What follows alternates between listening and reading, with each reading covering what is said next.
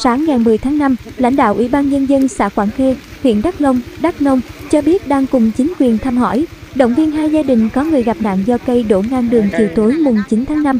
Vụ tai nạn thương tâm xảy ra trên quốc lộ 28, đoạn giáp ranh giữa xã Quảng Khê, huyện Đắk Long và xã Lộc Bảo, huyện Bảo Lâm, Lâm Đồng. Theo các nhân chứng tại hiện trường, khoảng 16 giờ ngày mùng 9 tháng 5, bà Huỳnh Thị Đào và bà Nguyễn Thị Vui cùng trú xã Đắc Ha, huyện Đắk Nông chở nhau đi trên xe máy hướng xã Quảng Khê đến xã Bảo Lâm. Thời điểm này trời mưa to, có lốc xoáy. Khi xe đến gần khu vực nhà máy thủy điện Đồng Nai 4 thì một cây cổ thụ ven đường bật gốc ngã đổ đè lên hai người và xe máy. Hậu quả làm nạn nhân Nguyễn Thị Vui tử vong tại chỗ. Bà Huỳnh Thị Đào bị trọng thương được đưa đi cấp cứu tại bệnh viện đa khoa tỉnh Đắk Nông.